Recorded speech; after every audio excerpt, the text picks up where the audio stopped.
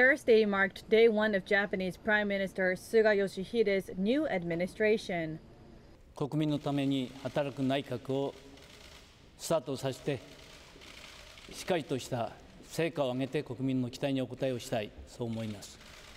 Suga said measures to contain the まさに pandemic remain the Japanese 身の引き締まる government's top 思いで priority. あります He also pledged to forge ahead with structural reforms, including deregulation and streamlining bureaucracy.